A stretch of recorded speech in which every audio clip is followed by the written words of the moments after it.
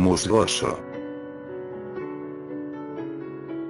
En la mitología cántabra, se lo describe como un hombre alto y delgado, con rostro pálido, ojos pequeños y una barba negra muy larga, va vestido con una zamarra de musgo, sombrero de hojas, escarpines de piel de lobo y en el furrón lleva siempre una flauta, el musgoso es un ser que vaga lentamente por los montes, donde puede avisar de los peligros de la naturaleza y enemigos, lanzando rocas y desgarrando ramas, es un ser compasivo y trabajador que llega a reparar las chozas de los vaqueros que son afectados por el temporal, a veces toca la flauta, interpretando dulces y a la vez tristes melodías que son únicas, por lo cual aquel sonido de la flauta del musgoso hace que los pastores se protejan del temporal que llega, guardando sus rebaños y buscando refugio.